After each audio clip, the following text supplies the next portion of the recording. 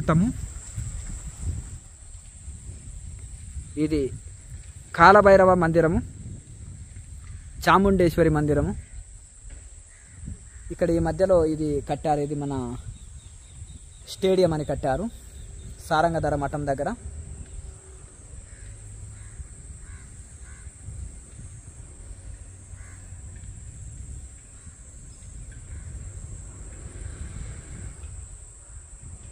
బిందు తీర్థం ఒకప్పుడు ఇక్కడ ఈ ఏరియా వాళ్ళకంతా తాగునీరు చాలా అద్భుతమైన తీర్థం ఇవి. ఇక్కడ స్నానాలు తాగుటకు ఇవే నీళ్ళు ఇప్పటికి వాడతారు. కాలభైరవ మందిరము శ్రీశైలం సారంగధర మఠం దగ్గర.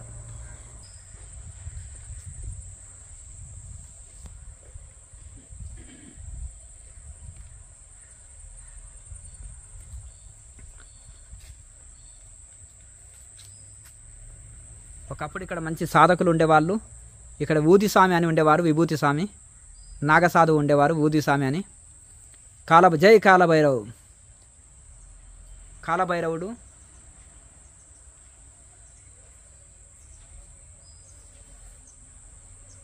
ఇక్కడ ఊదిస్వామి అని ఉండేవారు నాగసాధువు. ఒకప్పుడు పెద్ద పెద్ద సిద్ధ పురుషులు ఉండేవాళ్ళు బాగా తపస్సంపన్నులు ఉండేవారు. జడల స్వామి అని ఇంకొక ఆయన ఉండేది. కర్ణాటక సాధువులు ఉండేవాళ్ళు. మహా తపస్సంపన్నులు ఉండేవాళ్ళు ఇక్కడ గుహలో ఉంటుంది చాముండేశ్వరి మందిరము కాలభైరవుడి పక్కన.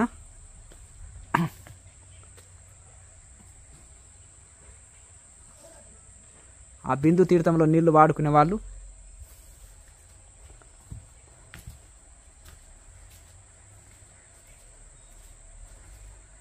ఇలాంటి సాధువులు ఎందరో ఉండేవాళ్ళు అప్పుడు. చాముండేశ్వరి మందిరము. జై చాముండేశ్వరి.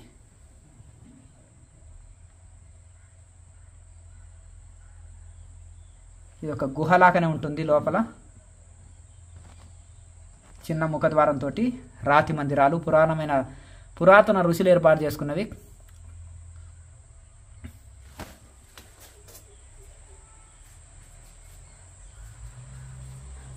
ఇక్కడ ఈ లోయలు అన్ని ఎన్నో స్వరంగ గుహలు ఉంటాయి ఇవి. ఋషులు రాళ్ళు పెట్టి గుహల్లాకి ఏర్పాటు చేసుకొని గుళ్ళు ఏర్పాటు చేసుకొని అందులో సాధన చేసుకున్నారు. ప్రతి దగ్గర ఈ లోయలు వెళ్తే జలపాతాలు పారుతుండే ఒకప్పుడు. ఇందులో అన్ని ఎన్నో గుహలు ఉన్నాయి స్వరంగ గుహలు. ఇలా ముందుకు వెళ్తే చాలా గుహలు ఉంటాయి. ఇక్కడ కూడా ఒక స్వరంగ గుహనే ఉంది. గమనించాలి అది గుడి ఉంది. ఆ గుడి నుంచి ఇట్లా వెళ్తే సన్న మూత ఉంటుంది. దీనికి ఇంకొక స్వరంగ గుహ ఉంటుంది. ఇట్లా రాళ్ళు పెట్టేసి దాని మీద మట్టి పోసి ఏర్పాటు చేసుకున్నారు. దీని మీద పుట్ట కూడా పెరిగింది చూడండి ఇది స్వరంగ గుహ. ఇది పెద్ద గుహ ఉంటుంది లోపలికి ఇప్పుడు తాళం వేసి ఉంటుంది అది. ఆ యొక్క గుడి నుంచి లోపలికి వెళ్తే ఇది పెద్ద గుహ ఉంటుంది. ఇట్లకెళ్ళి ఋషులు తప్ప చేసింది ఇది. ఇప్పుడు ఇక్కడ బిందు తీర్థము అని అక్కడ ఉంటుంది. అందులో స్నానం చేసుకొని వచ్చి వచ్చి గుహలో ఉండేవాళ్ళు. ఇక్కడ ఎన్నో గుహలు ఉన్నాయి ఇంకా. ఇది కాలభైరవ మందిరము. చాముండేశ్వరి మందిరము కలిపి ఉన్నాయి. శ్రీశైలము. ఓం కేఎంసీ ఛానల్ ప్రేక్షకులకి నమస్కారం మన క్రియాయోగ సాధకులు మరి వారి యొక్క అనుభవాలు చెప్పుకుంటున్నారు. మీ పేరు? మాల్యాద్రి. మాల్యాద్రి మాల్యాద్రి లక్ష్మీనరసింహ. ఆ, మీ ఊరండి? కందుకూరు దగ్గర కందుకూరు. కందుకూరు. ఒంగోలు జిల్లా? ఒంగోలు జిల్లా. ప్రకాశం జిల్లా? ప్రకాశం జిల్లా. మీరు ఏ సంవత్సరం వచ్చారు? గోవిందాయపల్లి క్రియాయోగ ఆశ్రమం? ఆశ్రమం నేను ఒక ఆరు నెలల కిందట వచ్చాను ఆరు నెలల కింద ఆరు నెలల కిందట వచ్చాను. మరి ఇప్పుడు మీరు ఇక్కడ శ్రీశైలం సాధన కోసం వచ్చారా? సాధన కోసం వచ్చాను ఇక్కడే సాధన ఆ, చేసుకుంటారు ఇక్కడనే ఎన్ని సార్. రోజుల నుంచి చేస్తున్నారు? ఐదు నెలల నుంచి చేస్తున్నాను సార్. ఇక్కడనే. ఇక్కడనే. సంతోషం. అంటే అక్కడ దీక్ష తీసుకొని డైరెక్ట్ ఇక్కడే వచ్చారు? దీక్ష నాకు ఊరి లేదు స్వామి. నేను ఇక్కడే నాకు శ్రీశైలంలోనే ఒక స్వప్నంలో కనపడి ఇక్కడ నంది నంది సర్కిల్ ఉంది కదా? నంది సర్కిల్లో నాకు ఒక ఆయన కల్లో మా ఊర్లో కల్లో కనపడ్డాడు. కల్లో కనపడి నాకు నీకు ఒక మూడు రోజుల్లో నీకు ఒక గిఫ్ట్ ఇస్తాను అన్నాడు సరేలని చెప్పి నేను ఆ మూడు రోజుల్లో ఆయన ఇక్కడికి రప్పించాడు శ్రీశైలం రప్పించాడు.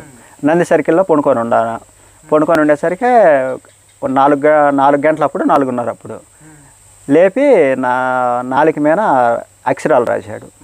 ఏదో రాశాడు. రాసేసి ఆయన ఇంకా రాయి స్వామి అంటే ఇంక టైం అయిపోయింది అన్నాడు. అంతలోకి గంట కొట్టారు. ఎక్కడ గుడి గుడికి స్టార్ట్ అయింది. మూడు గంటల నుంచే గుడి స్టార్ట్ అవుతుంది కానీ అంతవరకు ఐదు గంటలకు ఆయనకి ఆరత అయిపోద్ది. ఆరత టయానికి ఆయన బే లోపల నాలుక మీద రాసేసి వెళ్ళిపోయాడు నేను వెళ్ళి వస్తాను. అప్పుడప్పుడు ఇప్పుడు పలకరిస్తారు కనపడి ఎలా ఉన్నావు ఏమని క- మ- నిద్రపోతున్నప్పుడు. అయితే ఇంకా అక్కడి నుంచి నాకు అంతకుముందు కూడా మామూలుగా మాట్లాడేవాళ్ళు ఇంటికాడ ఉండి సాధన చేసుకుంటుండే స్వామి నేను. ఇంటికాడ మా ఊరికాడ ఉశాంత్ తాత అని ఉంటే ఆ తాత కాడ సాధన చేసుకుంటుండే. అక్కడి నుంచి ఇంకా మా దత్తాత్రేయ స్వామి అని ఉన్నాడు. ఆయన నా కళ్ళకి వచ్చాడు కళ్ళకి వచ్చి చెప్పాడు. దిగంబరంగా కళ్ళకి వచ్చాడు దిగంబరం కళ్ళకి వచ్చి నాకు గురువు కావాలా అని నేను ఆలోచిస్తున్నా. నీ గురువు ఏమీ అవసరం లేదు. నువ్వు సాధన మామూలుగా నువ్వు ఏ ఏ ఏ నామం అయితే జపిస్తావో అదే నామాన్ని జపించు. నీకు మంచి జరుగుద్ది అన్నాడు దిగంబరంగా అట్లా నేను మనసు మీద పండుకొని ఉన్నాను ఆయన కూడా అట్లా కూకొని కనిపించాడు. ఆయన చెప్పింది చేసుకుంటూ వస్తున్నాను. అందరూ మంచిగానే ఇప్పుడు దేవతలు అందరూ దర్శనం ఇస్తున్నారు జ్యోతి రూపంలో కనకదుర్గమ్మ విజయవాడ కనకదుర్గమ్మ వాళ్ళందరూ మామూలుగా ఫోటోల రూపంలో దర్శనం ఇస్తున్నారు సార్ ఇక్కడ గుక ఇక్కడ ఈ ఈ రౌండ్లో నాకు ఒక ఆయన మంచి యోగి ఒక అతను ఎట్లా నల్లగా జుట జుటాలు నల్లగా ఉండయి కపాలం ఒక చేత్తో పట్టుకొని నడిచి వస్తున్నాడు నేను అక్కడ సాధన చేస్తున్నాను. నాకు డిక్లేర్గా అంటే కళ్ళతో కనపడలేదు. మామూలుగా కళ్ళు మూసుకొని ఉన్నాను ఆయన నడిచి వస్తూ ఉన్నాడు. అక్కడ పైదాకా వచ్చి మాయమైపోయాడు. ప్రతి ఒక్కరూ నాకైతే మొత్తం నాకు ఒక్కొక్కసారి అనిపిస్తుంది ఇప్పుడు సాధన చేస్తుంటాను కదా. సాధన చేస్తుంటే నైట్ మూడు గంటలకే ఆ- మఠంలో మొత్తం అందరూ ఏదో వచ్చి దండం పెట్టుకొని వచ్చేసి అభిషేకం చేసుకొని వెళ్తానే ఉంటారు. పెద్ద పెద్ద వాళ్ళంతా. వాళ్ళంతా నాకు కనిపిస్తారు. అయితే ఇదే ఇంకా రహస్యంగా ఉన్నారు. ఉన్న అనే దానికి నిదర్శనం. నిదర్శనం. ఇలా చేయి ఒకసారి నన్ను మొన్న ఈ సందే రమ్మన్నారు స్వామి లోపలికి నేను పండుకొని ఉన్నాను. లోపలికి రా అని వాయిస్లో ఉండి పడింది కానీ ఆ వాయిస్ నేను పోలేదు ఆ రోజు.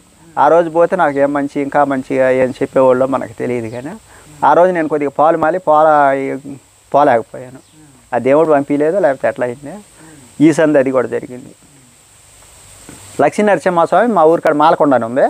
లక్ష్మీ నరసింహస్వామి నాకు నాతో పాటు మంచిగా మాట్లాడాడు బాగా. మాలకొండ స్వామికి దగ్గర నేను ఒక కొన్ని రోజులు అక్కడ చేశాను. మా ఊరి దగ్గరే పామూరు పోయి చాలా ఫేమస్ కదా మాలకొండ. స్వామి బాగా మంచి ప్రేమ మాలకొండ స్వామి అంటే ఏది? నరసింహ స్వామి నరసింహ స్వామి ఆయన దగ్గర చేశాను కొండ దగ్గర చేశాను కొండ మీద చేశాను. అక్కడ నీళ్ళు అంటే కొండ మీద శనివారం రోజు ఒక్కరోజే వండిస్తారు. శనివారం శనివారం చేసేవాడిని అక్కడ. మిగతా అప్పుడు ఉండలేరు అంటే మిగతా అప్పుడు అది అసలుకి మామూలుగానే గుడి ఉండలేదు అక్కడ. నీకు శనివారం రోజు ఒక్కరోజే వండిస్తారు. ఉన్నారు? అక్కడ పు- ఉదయాన్నే వెళ్తాను. శుక్రవారం రోజు నైట్ వెళ్తా. అక్కడే పడుకుంటా. కింద గుడి మీదకి పోనీరు నైట్ కూడా. ఉదయాన్నే ఐదు గంటల నుంచి పంపిస్తారు. అక్కడ పోయేది ఐదు గంటల మామూలు పైకి పోయి స్నానం చేసి అక్కడనే గుండం ఉంటుందా? గుండం ఉంటుంది. గుండమైనా మామూలుగా కుళాయిలైనా బాత్రూమ్లు అన్నీ ఉన్నాయి ఎక్కడ వీలుంటే అక్కడ చేస్తాను. అక్కడ చేసి మళ్ళీ పన్నెండు కిలోమీటర్లు దత్తాత్రేయ స్వామి కాడికి నడుచుకుంటా వెళ్తా. అక్కడి నుంచి పన్నెండు కిలోమీటర్లు. ఈయన దత్తాత్రేయ స్వామి అడవిలో ఏం లేదు. మామూలుగా ఊరు ఉంది. ఒక రకమైన ప్రదేశము. అంత అంత రైతులు అంత వ్యవసాయం పంట వ్యవసాయం వ్యవసాయ భూముల్లో. పన్నెండు కిలోమీటర్లు నడుచుకుంటా పోతే నాకు ఎట్లా ఏమో ఇంకా బాగా ఉల్లాసంగా ఉంటుంది. ఆ పన్నెండు కిలోమీటర్లు నడుచుకుంటా గుడి దగ్గరికి వెళ్తాను. ఆయన దగ్గర పడుకుంటాను నైట్. ఇంకా తర్వాత రెండో రోజు ఇంటికి వెళ్తా. ఇప్పుడు మీరు శ్రీశైలం పాదయాత్రే వచ్చారా? పాదయాత్ర వచ్చాను. నడుచుకుంటూ. వచ్చాను. ఇంతకు ముందు కూడా నడిచాను. మొన్న మాత్రం బోసుకొచ్చా. ఇప్పుడు వచ్చేటప్పుడు మళ్ళీ ఊరికి పోయి ఒకసారి వచ్చాను. మామూలుగా వచ్చాను. మీ దగ్గరికి వచ్చి వచ్చేటప్పుడు నడుచుకుంటా వచ్చినా అంతకుముందు నడుచుకుంటా వచ్చేసి అచ్చంపేట దాకా ఎక్కి వచ్చాను ఇంక ఈ ఘాటి రోడ్ అంతా నడుచుకుంటూ వచ్చేసి క్లాత్ చేశారా పౌర్ణమి రోజు? చేశాను. సంతోషం. అదే ఈ పౌర్ణమి రోజు చేయలేదు స్వామి నీకు ఆ రోజు. నాకు మీ దగ్గరికి వచ్చాను కానీ నాకు ఏదో ఒక నైట్ పూట పడుకున్నాను కదా. ఏదో ఒక వింతగా నువ్వు ఇక్కడి నుంచి లేచిపో నువ్వు ఇక్కడి నుంచి లేచి వెళ్ళిపో వెళ్ళిపో అని ఒక ఇద్దరు వచ్చేసి చెప్పారు స్వామి నాకు. నువ్వు ఇక్కడి నుంచి అర్జెంటుగా వెళ్ళిపోవాలా నువ్వు అని చెప్పారు. శ్రీశైలం అంటే ఈ పేరు అనేది చెప్పలేదు. యా ఇక్కడి నుంచి బయలుదేరాలి ఇక్కడి నుంచి బయలుదేరాలని చెప్పారు. మీ దగ్గర ఆ రెండు రోజులు కూడా ఉందామనే వచ్చాను. యాదగిరిగుట్ట పోయి యాదగిరిగుట్టలో ఒక రోజు పండుకొని అక్కడి నుంచి మీ దగ్గరికి వచ్చాను. మీ దగ్గర నుంచి ఇంకా డైరెక్ట్ శ్రీశైలం వచ్చాను. శ్రీశైలం వచ్చాను. ఐదు నెలల నుంచి ఉన్నారా? ఐదు నెలల నుంచి ఉన్నాను ఐదు నెలల మధ్యలో ఒకసారి ఇంటికి పోయి వచ్చాను. అంతే సాధన చేసేది? సాధన చేసేది మా ఊర్లో ఉశాంతాత మఠం అని ఉంది. అక్కడ ఒక సంవత్సరం చేశాను. ఇంక మిగతా రోజుల్లో ఐదు నెలలు ఇక్కడ చేశాను. ఇక్కడ ఎక్కడ? సారంగధర సారంగధార మఠంలోనే చేస్తా ఇప్పుడు కూడా. మఠంలో అవకాశం ఇస్తారా? ఆ, లో మఠంలో అవకాశం పైన పైన చేస్తారు. అమ్మవారు కూడా బాగానే దర్శనం జ్యోతి రూపంలో కనపడది మామూలు రూపంలో దర్శనం ఇచ్చారు. ఈ మధ్యలో కొద్దిగా సాధువులు కూడా ఉత్తర భారత యాత్ర పోయినట్టున్నారు. ఎవరు లేరు. లేరు. వర్షాలు ఎక్కువ ఉన్నాయి వర్షాలు ఎక్కువ ఉన్నాయి. ఎవరు- లేరు. ఏకాంతంగా ఉంది. ఏకాంతంగా ఉంది. ఆ సాధనకి మాత్రం మంచి ప్లేస్ ఇది. ఇక్కడికి భక్తుల రద్దీ కూడా తక్కువ ఉంది. లోపల కదా సారంగ ఆ, లో- రారు పెద్ద ఆ, పెద్దగా రారు. అయితే బా మంచి శక్తివంతమైన మఠం అది. ప్రతి ఒక్కరూ అంటే చూసే దృష్టితో చూసే చూసే దృష్టితో చూస్తే అంతా శ్రీశైలం మంచి బాగా కనపడుతుంది. అయితే నేను పెట్టుకున్న లక్ష్యం వేరు స్వామి. ఈ దేశం ఈ ఈలో మధ్య మరీ ఈ బర్రె బర్రెల్ని ఇవన్నిటిని చిత్రహింసలు పెట్టి పాలు పిండుకొని ఇవన్నీ చాలా వరకు మా మహాఘోరంగా చేస్తున్నారు. ఈ పాపాలన్నీ కొంత ఇవన్నీ పోవాలా మంచి దారిలో నడవాలా జనాలందరూ. వాళ్ళంతా ధర్మంగా నడిస్తే ఆ ధర్మమే వాళ్ళని కాపాడుతుంది. అనే ఆలోచనతో చేస్తున్నాను. వ్యవసాయం ప్ర- ప్రకృతి ఆహారం తీసుకోవాలి ప్రతి ఒక్కరూ. ఈ ప్రతి మనిషి మంచిగా బతకాల అనే ఆలోచన ఉన్న లోక కళ్యాణార్థం కోసం చేస్తున్నారు లోక కళ్యాణార్థం కోసం ప్రతి ఒక్కరూ ఈ సిటీలో బతకకుండా మంచి పల్లెటూరులో ఒక ఎకరా పొలంలో ఇల్లు కట్టుకొని ఆ ఇంట్లో మంచిగా ఆ ప్రకృతి ఆహారం ఈ కూరగాయలు అవి పెట్టుకొని ఒక బర్రెని పెట్టుకొని హ్యాపీగా బతికితే అదే స వీళ్ళకి డబ్బు డబ్బు అనుకుంటున్నారు. డబ్బు కాదు ముఖ్యం. డబ్బు వల్ల వీళ్ళ ప్రాణాలకే ఇబ్బంది పెట్టుకుంటున్నారు. అలాంటి పరిస్థితి లేకుండా ఏమి మనిషికి మనిషికి ఇరవై వేలు ముప్పై వేలు వస్తే సెలవు నెలకు వచ్చేళ్ళకి బర్రెల మీద వ్యవసాయం మీద కొన్ని లక్షలు లక్షలు సంపాదించుకుంటున్నారు. వీళ్ళు ఏమన్నా కరెక్ట్గా బతుకుతున్నారా? మురికి కొంపలేక పోయి ఎక్కడెక్కడో ఏమేమో చేస్తున్నారు. హైదరాబాదు ఇప్పుడు విజయవాడ ఎన్ని ఉన్నాయి? ఏ వీళ్ళు అక్కడ పోతే ఆ దోమలు ఒకసారి మురికి గుంటలు అన్నీ అదే పల్లెటూరులో ప్రకృతి ఆహారం తీసుకొని మంచి హ్యాపీగా బతకొచ్చుగా? ఎందుకు వీళ్ళకి డబ్బు డబ్బు అని డబ్బు అమ్మిటి పరిగెడుతున్నారు? జీవితం లాస్ట్కి వచ్చేళ్ళకి డబ్బు వాళ్ళ అమ్మిటే వాళ్ళకి శాశ్వతంగా రా లేదు కదా? డబ్బు ఏమన్నా వాళ్ళ అమ్మిటే వెళ్ళిపోతుందా? అందుకనే మీకు వైరాగ్యం వచ్చింది అయితే హ్యాపీగా అందరూ నేను నా ఒక్కడనే బతకాలని కాదు. హ్యాపీగా ఈ దేశం అంతా ప్రపంచం అంతా హ్యాపీగా బతకాలన్నదే నా కోరిక స్వామి. అంటే ఇప్పుడు మీకు వైరాగ్యం వచ్చింది. వైరాగ్యం అంటే దేని మీద కోరిక ఆశ లేకుండా పోయింది. పోయింది మాకేం. అంటే మన మనసులు రోగాల పాలై అశాంతిగా దుఃఖంతో అన్ని ఉండి కూడా ఏడుస్తుంటే వాళ్ళని చూసి మీకు కూడా అందరూ నేను ఒక్కడనే కాదు బాగా బతకాలన్నది. ప్రతి ఒక్కరు కూడా బాగా బతకాలన్నదే నా ఆలోచన. అట్లా మా శివయ్య కూడా కోరిక ఇచ్చాడు నే నేను ఈ గురువులందరినీ రమ్మ మొత్తం ఏకం ముక్కోడి దేవతలను అందరినీ ఏకమయ్యమని చెప్పాను. వీళ్ళంతా వస్తే ఈ జనా మొత్తం మార్చాలా ఈ సిస్టమే మార్చాలా? ఈ రాజకీయాన్నే లేకుండా చేయాలా? అని నాకు శివయ్య ఆజ్ఞ వరం ఇచ్చాడు వరాన్ని కూడా కోరాను. వరం ఇచ్చాడు అది ఎప్పుడు ఫలిస్తుందో చెప్పలేను. మొత్తానికి మాత్రం వాళ్ళందరూ మాట్లాడుతున్నారు. ఈ వరం అయితే ఇచ్చేసాడు. ఇక్కడ పనుకున్నప్పుడు పోయిన శివరాత్రికి ఇచ్చాడు. ఇచ్చేసి మాట్లాడి ఇచ్చాడు. ఈ టైం అని చెప్పలా. ఆ టైం వచ్చిందాక ఈ రాజకీయాన్ని శిష్టాన్ని మొత్తం మార్చేసేయాలా? మంచి విధానంలోకి తీసుకురావాలా. గురువులందరూ కూడా నా ఏమిటి ఓకే అన్నారు. అంటే ఇప్పుడు స్వార్థం పేరుకొని పోయిందంటారా సమాజంలో? ఆ స్వార్థం పూర్తిగా పేరుకొని పోయింది. అసలు రాజకీయం ఏముంది స్వామి? ప్రతి ఒక్కరు ప్రతి ఒక్కరు వాడిని నీడు తిట్టుకోవటం వీడిని వాడు తిట్టుకోవటమే కానీ ఏమన్నా కొద్దిగా నా ఆలోచన అనేది ఉంది వాళ్ళకి. ఎలా బతుకుతున్నావు అనేది. ఊళ్ళో ఊళ్ళో వచ్చే క్వార్టర్ క్వార్టర్ ఇస్తున్నారు. ఒక ఎమ్మెల్యే వచ్చి ఎంత ఖర్చు పెడుతున్నాడు? ఒక ఎమ్మెల్యే వచ్చి ఎంత ఖర్చు పెడుతున్నాడు? ఒక ప్రెసిడెంట్ వచ్చి ఎంత ఖర్చు పెడుతున్నాడు? ఒక ఊరు అంటే ఇప్పుడు ఒకటి ఏంటంటే పల్లెటూరులో ఒకప్పుడు మంచి ఆప్యాయతలు ఉండే వీటితోటి మనసుల హృదయాలు కలుషితం అయిపోతుంది కలుషితం అయిపోతుంది అన్ని దీంతో. సరే ఏది ఉన్నా మనిషి ఆధ్యాత్మికంగా ఉంటేనే మనశ్శాంతి. మనశ్శాంతిగా ఉంటుంది. ఆధ్యాత్మికమైన వ్యక్తి వ్యాపారములున్నా ధర్మమైన వ్యాపారం చేస్తాడు. ఆ. రాజకీయములున్నా నీతిగా పరిపాలన నీట్గా పరిచయం. పోనీ ఒక సమాజంలో ఉన్న మంచి సంఘ సేవ చేస్తాడు. ఏది ఉన్నా ఆధ్యాత్మికం ఉంటే మనిషిని క్రమశిక్షణగా నడిచేటట్టు చేస్తుంది. నడిచేటట్టు చేస్తుంది. అంటే క్రమశిక్షణగా ఉంటాడు కాబట్టి ఆహార నియమాలు పాటిస్తాడు ఆరోగ్యంగా ఉంటాడు శాంతిగా ఉంటాడు. తోటి వారిని శాంతిగా జీవించేటట్టు చేస్తాడు. చేస్తాడు. తాను బాగుంటాడు అందరు బాగుండాలని కోరుకుంటాడు. కోరుకుంటాడు. అదే ఆధ్యాత్మికంలో ఉండాలి మనిషి. రంగంలో ఉన్నా తప్పు లేదు. తప్పు లేదు. అన్యాయం ఒక మనిషికి అన్యాయం చేయకుండా నీతి నిజాయితీగా నీతి నిజాయితీగా బతికి ఆ నీతే వీళ్ళని బతి- బతికిస్తుంది వెనకొచ్చి.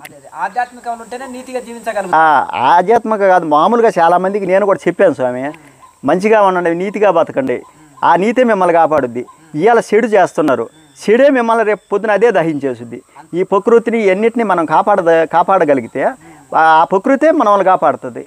అదే ఇలా రైతు కూడా ఒకటే పాలు పిండుకొని తాగుతున్నాడు. ఆ బర్రెని పాలు అయిపోయాక కషాయుడికి అమ్మేస్తున్నాడు. వాళ్ళు కషాయతనానికి తీసుకుపోయేటప్పుడు ఏం చేస్తున్నారు దాన్ని కాళ్ళు ఎరగొట్టి చిత్రహింసలు పెడుతున్నారు. ఆ చిత్రహింసలో మన మనం కూడా పడాలి అది. ఆ జీవి నోరు లేని జీవిని పడేటప్పుడు మనం పడ్డ దాని పాపం మనకే కదా. దాన్ని పాలు తాగి దాన్ని మోసంతో వ్యాపారం చేస్తున్నాం అంటే పాపమా పాపం కాదు స్వామి. వ్యాపారం చేయలే కానీ అమ్మేయద్దు అంటే వ్యాపారం అంటే అది ఇంకా సరే అదే సారీ అది రాంగ్ అయితే క్షమించండి అది మళ్ళా దాని దూడని వాటిని పెంచుకుంటే అదేనా మంచి పక్కన ఇది ఇస్తుంది కదా? ఒకప్పుడు ఆవులు పాడి పశువు అనే వాళ్ళంటే పశువులు ఉండేది బాగా అవి పాలు ఇచ్చేది వాటి పేడ ఎరువు వచ్చేది. మళ్ళీ తిరిగి ఆ యొక్క అంటే ధాన్యాలేమో రైతులు తినేది. దాని యొక్క కుళ్ళు గడ్డి పశువులకు. పశువులకి. పేడ మళ్ళీ భూమికి పంట చేలకి గా అయ్యేది. ఇప్పుడు నేను పిల్లోడప్పుడు ఉన్నాను. ఇప్పుడు ఎక్కడ ఎంతో దూరం పోలా మనము?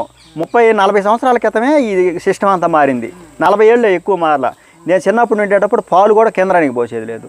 మామూలుగా తీసకపోయే బర్రెలు అప్పుడు ఎన్ని ఉండేవి? ఇంటికి వచ్చి పది దాకా ఉండేవి. ఆ పేడంతా తీసకపోయే ఒక దగ్గర వేసేది. ఈ అన్న పోసి ఒకటే అమ్మేది కానీ లాస్ట్లో మజ్జిగ కూడా చిక్కటి మజ్జిగ కూడా తొట్టులో పోసేది. మళ్ళీ బర్రెలకే పోసేది.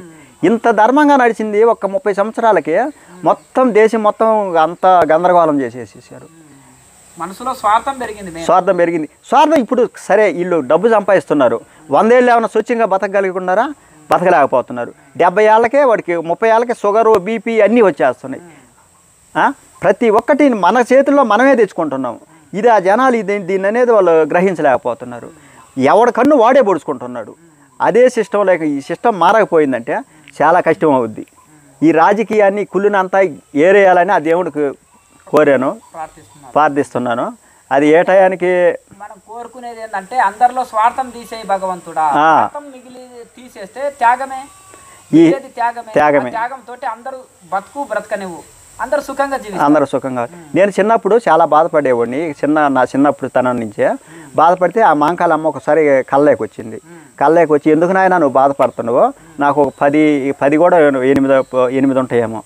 ఎందుకు నాయన నువ్వు బాధపడతావో? నేనున్నాను కదా ఈ దేశాన్ని కాపాడటానికి నీ పని నువ్వు చేసుకొని పో అని చెప్పింది. ఇక్కడ ఈ విగ్రహం కాడ ఈ- ఏముంది? ఎవరు ఇక్కడ రుద్రాక్ష మఠం ఉందా? రుద్రాక్ష మఠం దగ్గర మాంకాలమ్మ ఉంది కదా ఇప్పుడు కొత్తగా విగ్రహం పెట్టారు. ఆమె డైరెక్టర్ బయటకు వచ్చేది నాకు కనపడింది. డైరెక్టర్ సిల్లో నుంచి బయటకు వచ్చింది ఊరి ఊర్లోకి వచ్చింది. ఆమె ఎట్లా వచ్చేది కూడా నాకు డిక్లేర్ కనపడింది. అంటే అంత శక్తివంతమైన వాళ్ళు వీళ్ళకి వీళ్ళకి భగవంతుడిని కనపడలేదు కనపడలేదు అంటున్నారు. మీరేం చేస్తున్నారు కనపడటానికి? మీరు మంచి చేస్తే వాళ్ళు ఎప్పుడూ మనమిటే ఉంటారు. అది వీళ్ళకి అర్థం కాక ఏది మాకు దేవుడు కనపడలేదే వాళ్ళకి ఎట్లా కనపడుతుందో వీళ్ళకి ఎట్లా కనపడుతున్నాడు అంటే ఎక్కడో దుర్గమ్మ తల్లి విజయవాడ దుర్గమ్మ తల్లి ఇక్కడ నాకు దర్శనం ఇచ్చింది మంచితనం నీతి నిజేదిగా బతికేవాడికి ఎవరికైనా సరే కానీ కాక ఆ నీతే కాపాడుతుంది. అన్యాయం చేసేవాడికి అన్యాయమే వాడి వెనక ఎప్పుడు అన్యాయమే వాడి దహిస్తుంది. ఇవన్నీ గుర్తుపెట్టుకొని ఎవరైనా మంచిగా బతకాలని మీకోసమే ప్రార్థిస్తున్నాను. చాలా సంతోషం. బాగా సాధన చేసుకోండి. మంచి సంకల్పం పెట్టుకోండి. మీ సంకల్పం నెరవేరుతుంది. సరే సరే. మంచిది. హరి ఓం తత్సత్ సరే. మొత్తం మీద మీరు ప్రకృతిని ఆస్వాదిస్తున్నారు. ఎందుకంటే మీకు వైరాగ్యం వచ్చింది. ప్రపంచం అంతా మాయ ఏమి లేదు. ఏముంది స్వామి? కుతంత్రాలు మోసాలు ఇవన్నీ ఉన్నాయి. సమాజం బాగలేదు. ఈ అడవిలో ప్రశాంతంగా ఉంటుందని ఒంగోలు నుంచి వదిలేసి శ్రీశైలం బాట పట్టారు. పాదయాత్రలో శ్రీశైలం వచ్చేసి ఇట్లా ప్రకృతిలో మంచిగా హాయిగా ఆ, ఈ ప్రశాంతంగా ఉంది స్వామి అసలుకి. ఎంత బాగుందంటే అంత ప్రశాంతంగా మంచిగా. మరి శ్రీశైలములో మనిషికి శాంతి లభిస్తుంది. ఇది వైరాగ్య భూమిగా. శివుడు ఏముంటాడు? పాములు వేసుకొని ఉంటాడు రుద్రాక్షలు వేసుకొని ఉంటాడు బూడిది పూసుకొని ఉంటాడు? వైరాగ్యం కదా? ఆయన మనకు నేర్పేది వైరాగ్యం వైరాగ్యం కనుక హాయిగా మీకు ఈ శ్రీశైలంలో శాంతి లభిస్తుంది. శాంతి మంచిగా. కూర్చొని బాగా ఈ ఇక్కడిక్కడ చెట్ల కింద అక్కడక్కడ చిన్న చిన్న గుహల్లో గుళ్ళల్లో చిన్న చిన్న గుళ్ళల్లో ధ్యానం చేసుకుంటున్నారు. ఇప్పుడు ఇది కాలభైరవుడు కదా? కాలభైరవుడు. కాలభైరవుడు. కుక్కలు బాగున్నాయి భైరవుడి దగ్గర. అయ్యే అన్నీ అన్నిటికంటే అయ్యే. తెచ్చుకున్నది చూడుగో అది అది కొబ్బరి చిప్ప తెచ్చుకున్నది ఇగో తింటుంది. కొబ్బరి చిప్ప. అట్లా ఆ విధంగా ఇక్కడ మీకు శాంతి లభిస్తుంది. శాంతి అయితే ఎవరికైనా ఆధ్యాత్మికంగా భక్తి పరంగా ఉంటే శాంతి లభిస్తుంది. మీరు ఇచ్చే సందేశం అదే. సందేశం. నీతి ధర్మంగా నీతి ధర్మంగా. శాంతిగా ఉంటుంది. చాలా సంతోషం స్వామి. ఒకరికి కీడు చేయకుండా మంచిగా అసలుకి సాధన సాధన చేస్తే మీకే మంచిది. ఒకరికి అన్యాయం చేయకుండా మంచిగా బతికితే మీకు మీకే దా- దానికంటే ఇంకా మించిన భాగ్యం ఏదీ లేదు. చాలా సంతోషము. నీతిగా ఉండాలి. ప్లస్ ఆధ్యాత్మికంగా ఉంటే శాంతి ఆ, శాంతి శాంతి వస్తుంది. ఆధ్యాత్మంగా ఉంటే శాంతి వస్తుంది. అనేది మీ యొక్క ఉపదేశం. చాలా సంతోషం. ఓం నమ శివాయ. ఓం నమ శివాయ. ఓం నమ శివాయ. ఓం నమ హర హర మహాదేవ. శంభో జై కాలభైరవ. జై జై. ఓం నమ శివాయ. ఓం నమ శివాయ.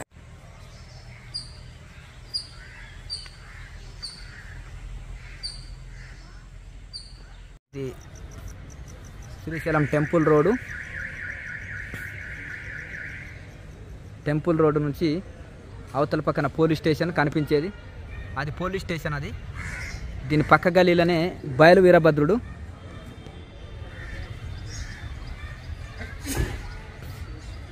మందిరానికి వెళ్దాం. ఇక్కడ వాహన పూజలు ఎక్కువ చేయించుకుంటుంటారు. కొత్త వాహనాలది పూజలు.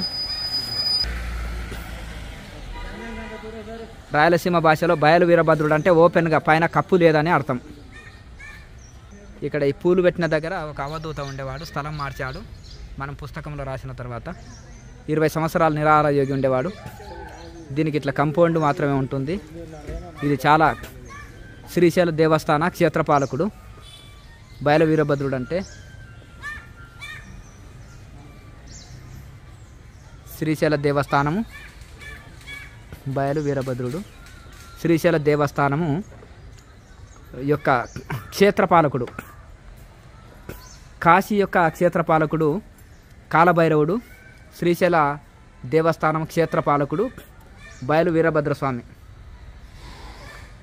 వీరభద్రుడి చేతుల కటారు ఉంటుంది చూడండి.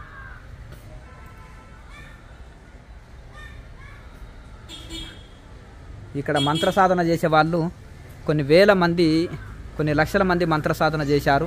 పూర్వము అర్ధరాత్రులంతా మంత్ర సాధన చేసే వాళ్ళు ఇక్కడ వచ్చేవాళ్ళు. ప్రదక్షిణ చేసుకుందాము. జై వీరభద్ర స్వామికి జై. ఇప్పటికి కూడా మంత్ర సాధన చేసే వాళ్ళు ఇక్కడ చాలా రాత్రంతా ఇక్కడ ఈ చుట్టూ కంపౌండ్ చుట్టూ లోపల కూర్చుంటారు. సాధకులు మాత్రమే ఉంటారు. వీరభద్ర స్వామి భక్తులు వస్తుంటారు. ఇక్కడ కర్ణాటక సాధువు మౌన యోగి యోగి ఒక ఆయన ఉండేవాడు. ఇప్పుడు స్థలం మార్చాడు. ఇరవై సంవత్సరాలు ఇక్కడే ఉండేవాడు. బయలు వీరభద్ర స్వామికి జయహో. శ్రీశైల క్షేత్ర పాలకుడు బయలు వీరభద్రుడు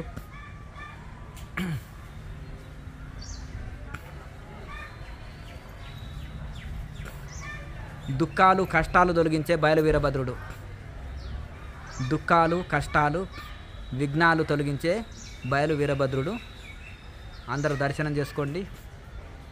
శ్రీశైలం పోలీస్ స్టేషన్ పక్క గలిలో బయలు వీరభద్ర స్వామి శ్రీశైల క్షేత్రపాలకుడు.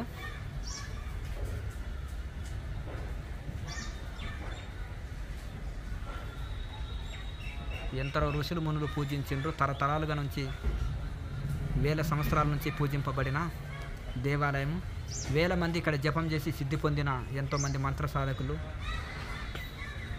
ఎంతోమంది యోగులు ఋషులు పూజించిన శ్రీశైల క్షేత్రపాలకుడు బయలు వీరభద్ర స్వామిని దర్శనం చేసుకోండి. సర్వ పాపాలు తొలగించే బయలు వీరభద్రుడు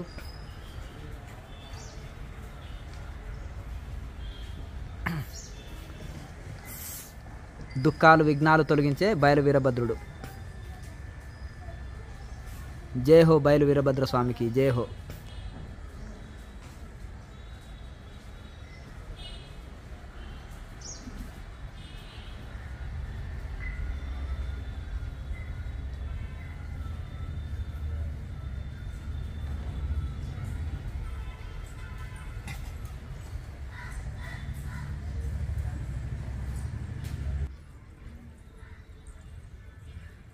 హర హర మహాదేవ్.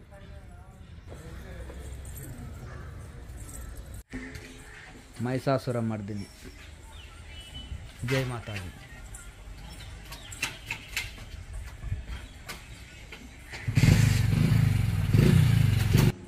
శ్రీ శ్రీ మహిషాసుర మర్దిని అమ్మవారి ఆలయం శ్రీశైలం.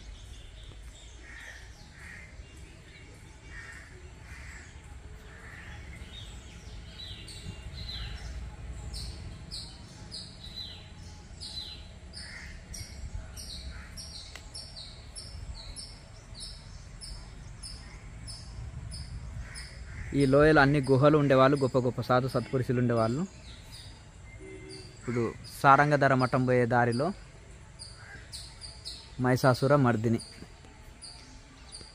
జై మాతాజీ జై మాతాజీ జై హో.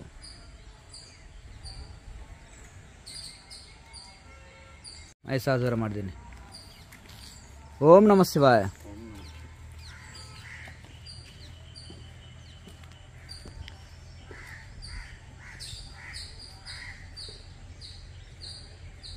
శక్తి స్వరూపిణి. మహిషాసుర మర్దిని చాముండేశ్వరి ఆలయం కాలభైరవం. కాలభైరవ ఆలయం శ్రీశైలం. రోడ్డు నుంచి ఇలా వస్తే సారంగధార మఠం దగ్గరలో. ఇక్కడ ఇప్పుడు కొత్తగా మ్యూజియం కూడా కట్టారు.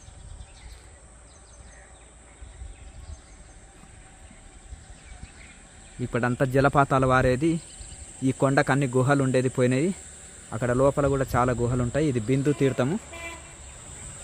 ఇక్కడ సాధువులు ఇక్కడే స్నానాలు చేసేవాళ్ళు భక్తులు ఎంత కుటీరాల్లో గుహల్లో ఉండేవాళ్ళు.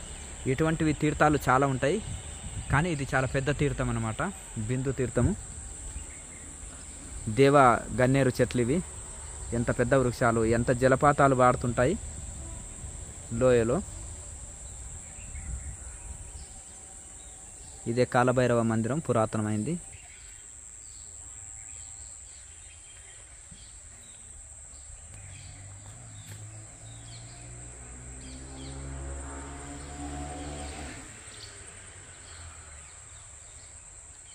ఓం నమ శివాయ. ఆ.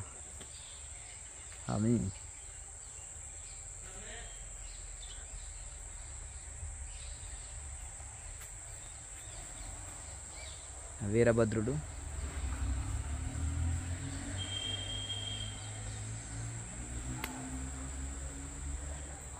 కాలభైరవుడు.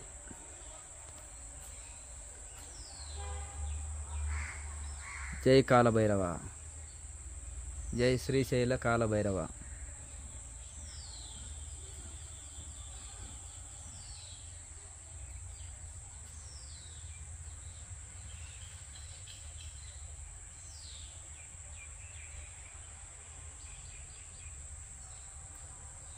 కటార్ కాలభైరవ.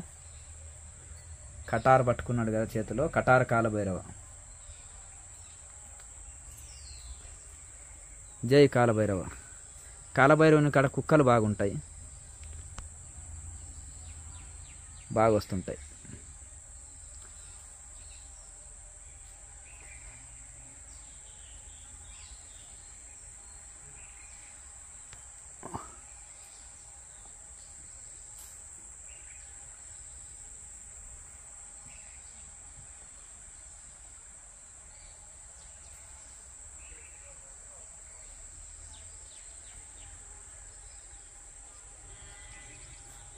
ఇక్కడ ఒక అద్భుతమైన గుహని చూతాము. ఇక్కడ ఊది స్వామి అని నాగసాధువు ఉండేవాడు దిగంబర సాధువు.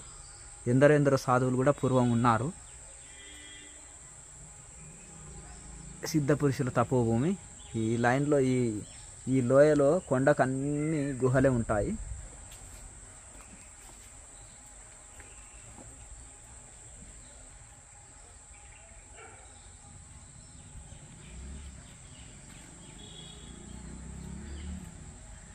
ఇప్పుడు దుని వెలుగుతుంటుంది ఇక్కడ.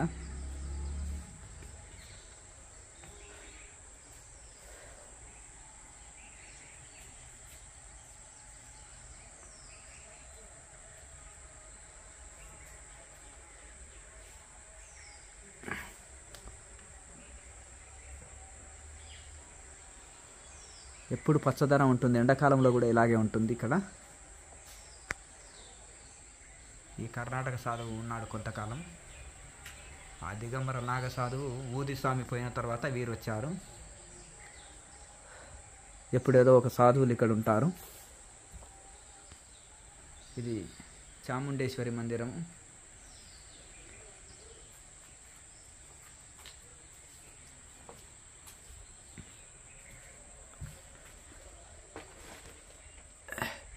జై చాముండేశ్వరి మాతాకి జై హో.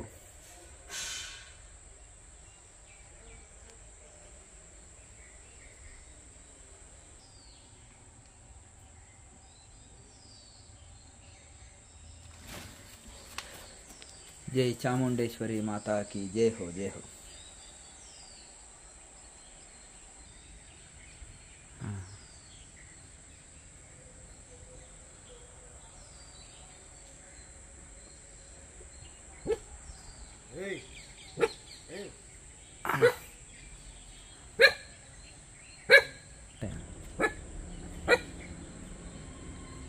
ఇట్లా ఈ గుళ్ళోకి వెళ్ళి ఇక్కడ స్వరంగము అది గుహ అన్నమాట.